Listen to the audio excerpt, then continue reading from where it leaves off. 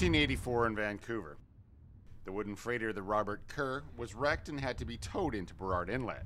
On board was a man who was about to make one of the greatest impacts on the city any resident ever had. His name, Seraphim Fortes, but you may know him as Joe.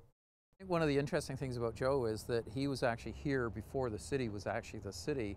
And so I think for many people in Vancouver, he was just that ever present presence in terms of, oh, yeah, there's Joe. Joe lived through the city's inception in the Great Fire of 1886 that completely destroyed Vancouver in only 20 minutes. Everything you read about him, he seems like a really nice guy that you'd want to actually know. And I think that's also interesting for the city because at this time we're still not the most open society, and yet here you have this big black guy that's the friend of everybody.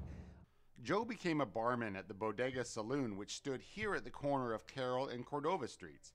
The patrons of the bar took to calling Seraphim Fortes Old Black Joe after a song that was popular in the city at the time you know, moving on after his bartending career over to, to the beach and becoming the unofficial lifeguard. He's just sort of that big father figure for the city. Joe devoted all his spare time teaching young children to swim. He gripped the backs of their cotton bathing suits with his fist and was reported to say with a deep, mellow voice, Kick your feet, child, kick your feet. As he touched generations, um, he taught uh, you know, two, three generations of kids how to swim as being the sort of unofficial lifeguard of, of English Bay.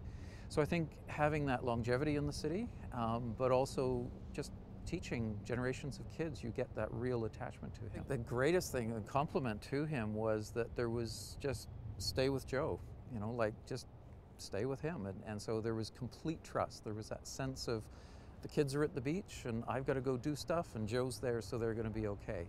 Apparently, he hosted uh, picnic picnickers and uh, chaperone courting couples, and uh, basically kind of kept the area free of unsavory characters back in the day. He exemplified hospitality, and that's really our uh, philosophy here at the restaurant. Service can be defined as black and white, but hospitality is color. Joe lived here on the beach in a tent across the street from what is now the Sylvia Hotel. He cobbled together a few supplies, and that tent turned into a shanty. Just before World War I, the city of Vancouver was burning down all the shacks in an effort to clean up the beach. When city workers got to Joe's shack, they were met by hundreds of supporters surrounding the house demanding to leave their beloved Joe's home alone. So the mayor acquiesced. The city ultimately lifted up Joe's house onto a wagon and moved it two blocks down the street.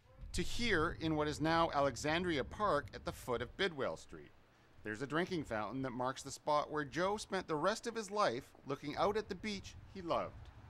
On the fountain, the inscription Little children loved him. In February of 1922, Joe died of pneumonia here at Vancouver General Hospital.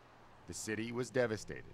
Uh, when you've had such a fixture in the city and a larger than life character, quite literally larger than life, um, the fact that when he dies, it's just a, it's such a huge outpouring of civic grief. There is this real sense of loss, and the parade is still reckoned to be one of the largest ever uh, for his funeral.